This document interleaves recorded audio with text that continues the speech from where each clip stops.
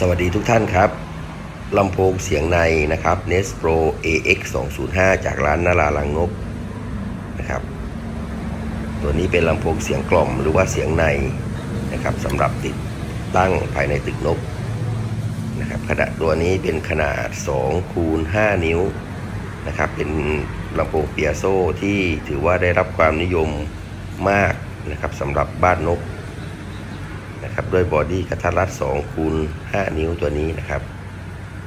นี่ลักษณะของบอดี้ตัวนี้เป็นลำโพงที่ให้เสียงถือว่าโอเคเลยสำหรับบ้านนกนะครับแล้วอีกอย่างหนึ่งเป็นลำโพงรุ่นประหยัดอีกรุ่นหนึ่งของทางร้านนะครับช่วยเซฟค่าใช้จ่ายของทุกๆทท่านนะครับ